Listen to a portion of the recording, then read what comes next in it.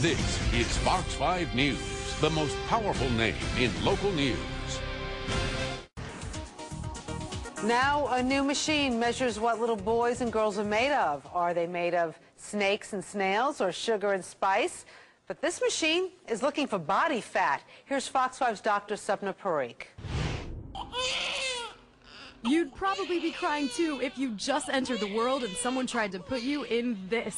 This is a new medical device called the PEA POD. It measures total body fat in babies. We're trying to understand what normal percent body fat is in infants because this is information that is not out there.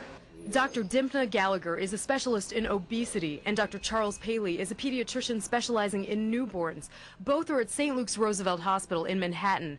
They're using the PEA POD in a new study to see if knowing the total body fat at birth can help to prevent obesity later in life. The question uh, that we are raising is whether there uh, is some intervention that's uh, possible uh, during pregnancy or during uh, infancy. The PEA POD works by measuring the amount of air the baby displaces.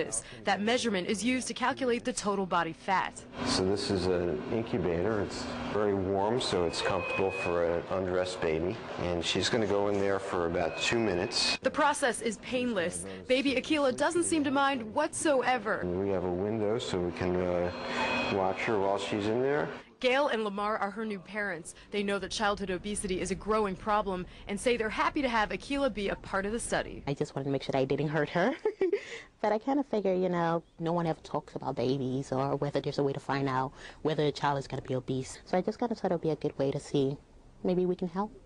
The study includes healthy babies of all ethnicities. Dr. Gallagher says the preliminary results show that girls and Hispanic babies have higher percentages of body fat.